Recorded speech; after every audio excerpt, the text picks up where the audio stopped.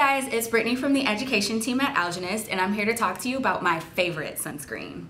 Sublime Defense SPF 50 is my absolute favorite sunscreen because number one, it looks amazing under my makeup.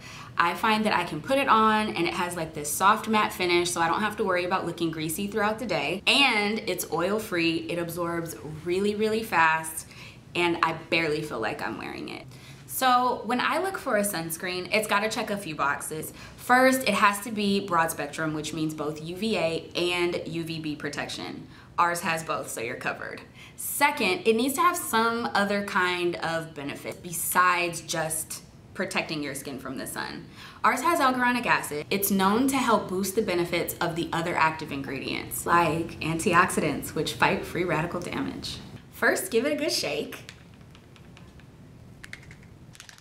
As you can see, the formula is very sheer and it dries down super silky.